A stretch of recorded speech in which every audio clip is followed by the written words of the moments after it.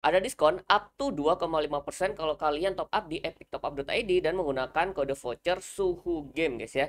Jadi kalian bisa top up di sini karena gamenya udah lengkap juga dan banyak gamer-gamer yang juga udah top up di sini guys ya. Jadi kalian langsung top up aja di epictopup.id. Oke, kembali lagi bersama saya di sini di Game Town and Liberty guys ya. Ini hari ketiga ya semenjak gamenya rilis ya. Rilisnya tanggal 2 ya tengah malam. Jadi ini hari ketiga. Cuman di sini saya baru main niatnya tuh kayaknya baru dua hari deh ya. Itu pun saya masih ngeraba-raba doang ya gitu buat gamenya ya. Jadi saya mau bahas ya pengalaman saya main tiga hari ini ya. Jadi saya bakal bagiin. Tapi sebelum itu buat kalian yang belum subscribe jangan lupa subscribe biar kalian gak tinggalan video-video saya seputar game ya, tips-tips nanti saya bakal main beberapa game nanti saya bakal bagiin tips-tipsnya juga ya. Jadi kalian jangan lupa subscribe. Nah di sini saya mau bagiin pengalaman saya main tiga hari ya sekitar tiga hari. Jadi buat kalian yang main game ini tuh saya mainnya di server Jepang guys ya gitu. Jadi kalian bisa download dulu. Nah downloadnya itu misalkan kalian cari di Steam tuh nggak ada ya memang di Steam itu nggak tersedia di region Indonesia guys ya atau SIA. SIA itu nggak ada di Steam gitu. Jadi mau nggak mau kalian pakai VPN dah downloadnya itu pakai VPN downloadnya doang. Nah waktu main ya tentu aja kalian nggak usah pakai VPN lagi udah ya gitu. Jadi cuman downloadnya doang kalau udah beres nah kalian bisa matiin VPN-nya cuman jadi kalau kalian masuk ya udah kalian jadi region Jepang guys gitu. Saya kan pakai VPN Jepang jadi kalian masuk itu jadi region Jepang. Dan bener ya eh, kekhawatiran saya ya pingnya itu memang nggak semulus kalau misalkan main di server Sia ya. Entah gara-gara mungkin saya pilih server yang rame atau gimana. Jadi di sini memang nggak semulus itu guys gitu. Apalagi waktu saya loncat-loncat ya. Kalau jalan biasa itu kayaknya memang nggak ada jeda ya. Maksudnya nggak ada nge-lag atau rollback rollback itu ya. Ini misalkan kita jalan biasa gitu. Tapi waktu saya loncat-loncat itu sering banget rollback. Nah kayak gitu tuh ya sering banget rollback guys apakah itu normal misalkan kita main dengan ping yang bagus gitu ya apakah normal ya rollback rollback kayak gitu atau ya itu memang gara-gara kita main di region lain aja gitu guys ya. Makanya jadi rollback rollback nah ini ini enggak kan ya. Tapi kadang-kadang memang waktu saya loncat-loncat tuh kadang rollback rollback guys ya. Itu kayak nggak enak sih gitu. Cuman waktu kita jalan normal itu nggak nggak ada rollback sih gitu. Apa saya doang atau kalian guys? Atau memang saya harus pakai VPN ya biar mainnya lancar guys ya? Di sini soalnya VPN-nya saya matiin gitu. Soalnya bisa tanpa VPN gitu guys ya. Cuman ya ini um, sering sering rollback sih gitu. Apalagi waktu kita loncat-loncat atau itu bisa fatal guys gitu. Kadang waktu saya terbang ya tiba-tiba tuh rollback rollback dan tiba-tiba mati sendiri. Jadi itu guys ya. Kalian tahu kan ini bisa terbang kan ya? Nah jadi burung kan. Nah itu kadang kalau lagi rollback rollback tiba-tiba jatuh guys. Itu kan nggak gun banget ya. Jadi gitu itu tuh. Itu yang pertama guys ya. Apakah uh, pingnya stabil atau gimana pingnya sih kadang stabil, kadang ya itu suka rollback ya.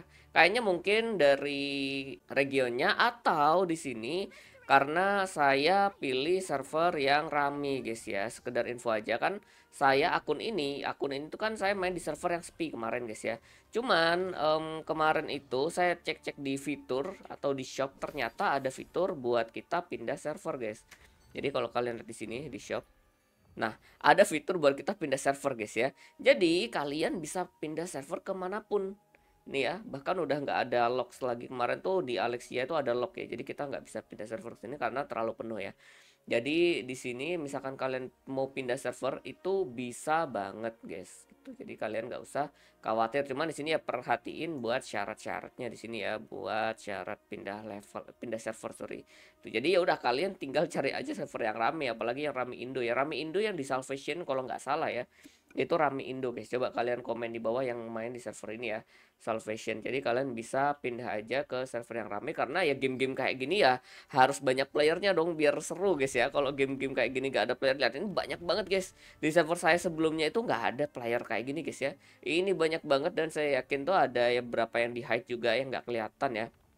Jadi kalian bisa mampir juga. Apalagi di sini kan bisa apa namanya kayak jualan gitu ya kayak jualan bisa apa namanya exchange juga ada marketnya. Jadi ya kalau misalkan kalian mau cuan ya cari yang servernya rame dong gitu. Jadi kalian bisa langsung pindah aja. Jadi ini ini fitur bagus banget ya. Kenapa nggak di semua game MMORPG ada fitur kayak gini aja baru gamenya rilis langsung ada fitur change server ya ini entahlah Bagus banget ya fiturnya ya. Cuman sayang banget ya kenapa nggak ada server C sih gitu. Makanya di sini kayak nge-lag gitu ya rollback rollback guys ya. Coba kalian misalkan ada yang nggak ngalamin rollback rollback coba kalian komen deh apakah kita mainnya harus pakai VPN juga. Lihat ya nih. Waktu saya loncat-loncat barusan ya rollback guys ya apakah saya harus pakai VPN juga atau memang kan dari region lain aja gitu jadinya rollback rollback gitu ya. Cuman waktu anehnya waktu jalan biasa itu enggak gitu. Waktu saya loncat-loncat itu yang rollback ya. Kalau jalan biasa itu saya nggak pernah rollback misalkan main waktu 30 menit tanpa loncat ya itu nggak ada rollback sama sekali guys gitu. Entah waktu loncat aja ya. Coba kalian komen deh di bawah gitu guys ya pengalaman kalian. Jadi itu ya masalah server dan lain. Nah sekarang saya mau bahas seputar gameplaynya guys ya. Di sini saya udah level 21 itu saya jalanin quest itu ternyata udah nyentuh level 18 19 itu questnya udah mulai susah guys ya. Saya udah mati berapa kali gara-gara quest. Jadi kalau kalian di questnya tuh mati ya kalian ngulang lagi questnya gitu guys ya. Jadi kayaknya atau memang karena saya nggak bisa mainnya aja ya gitu. Karena di sini memang harus biasain dulu ya kayak kontrolnya ya kayak skillnya dan lain tuh harus dibiasain lagi guys gitu. Jadi memang di awal misalkan kalian nggak terbiasa sama game-game PC MMORPG kalian harus adaptasi sih gitu. Adaptasinya mungkin tergantung kalian ya. Misalkan kalian nggak pernah main sama sekali mungkin agak lama adaptasinya. Tapi misalkan kalian udah main game MMORPG PC dari dulu ya gitu itu harusnya sih nggak terlalu um, susah lah gitu ya buat adaptasi guys. Cuman ini menurut saya sih game RPG yang bagus sekali guys ya, sekelas game PC karena lengkap banget kompleks sekali ya buat sistemnya fitur-fiturnya juga dan lain. Apalagi kan MMORPG itu PVP-nya kan yang kita kejar guys ya gitu. Tapi di sini fitur PVP-nya banyak banget sih apalagi buat fitur guild-nya juga ya. Itu kayak war war dan lain itu banyak banget. Cuman sayangnya di sini saya masih level kecil ya. Nanti saya coba review deh gitu buat war-nya dan lain ya gitu. Ya namanya game MMORPG guys ya. Harus ada sih fitur war war kayak gitu guys. Apalagi di sini nggak ada sistem job guys ya. Jadi kalau kalian cek di sini, kalian itu bisa pakai semua senjata yang kalian mau. Jadi nggak di lock e, berdasarkan job ya. Misalkan saya job e, match gitu ya. Udah saya nggak bisa pakai senjata lain gitu. Nah di sini kan saya udah pakai staff guys ya kayak skill-skillnya lain. Nah ini saya udah e, mutusin mau pakai staff. Nah misalkan saya mau pakai senjata lain ya bisa. ya bisa aja gitu guys ya skillnya juga kita bisa transfer gitu misalkan saya udah nge-up skill yang si staff ini udah skill-skillnya itu bisa transfer ke uh, bow gitu ya misalkan kalian mau ganti job atau ganti senjata ya di sini nggak ada yang namanya job. Jadi cuman ganti senjata doang. Dan itu nggak di lock ya itu bagus banget sih game ini ya. Gitu. Buat sistemnya di sini sama ya ada stat dan lain kalau gitu ada equipment ada skillnya juga ya. Ini kompleks sekali guys. Bagus banget sebenarnya skillnya itu kompleks banget. Misalkan nih di satu skill itu kalian bisa ubah efek skillnya guys ya gitu. Yang awalnya itu misalkan kalian uh, single target dan bisa spam itu jadi uh, apa namanya skill area dan lain ya di sini nih. Masing-masing skill dong lihat ya.